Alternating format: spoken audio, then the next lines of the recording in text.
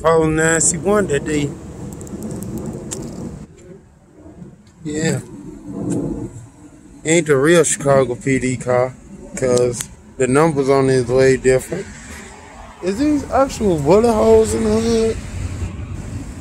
These actual holes in the hood, fake holes in the windshield. Like the wheels though. Yeah.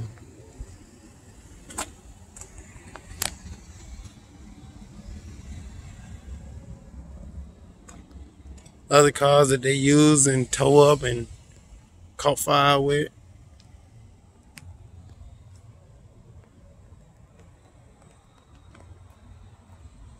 Thirty-six forty-two. Is a different number up front?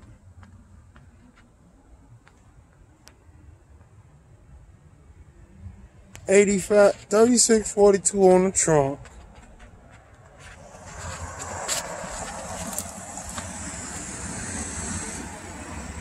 Eighty-five sixteen on the front. Hell no. Now this funny as hell. Eighty-five sixteen on the front, right? Front left sides. 8516. But you go around to the trunk. Walk around to the trunk. 3642. What the fuck? Which number was it? And this ain't no parts from no real Chicago PD car. It might have been a squad car at one point in his life. Matter of fact, let me see. Might have been a squad car at one point in his life, but a real squad car, but see how that light bar sitting funny.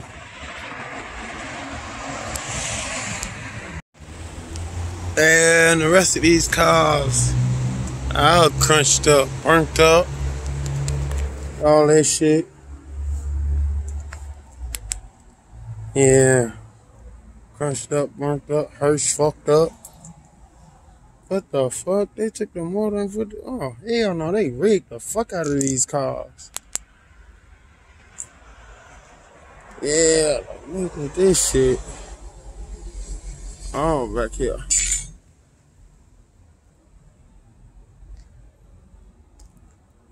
Yeah, these cars got fucked.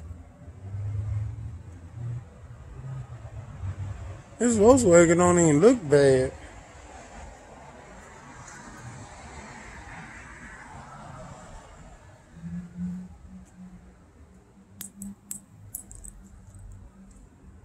Damn, that one got fucked in the back.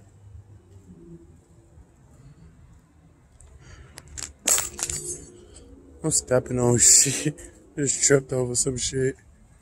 Challenger. Equinox. That one's not for sale. Hmm. Yeah.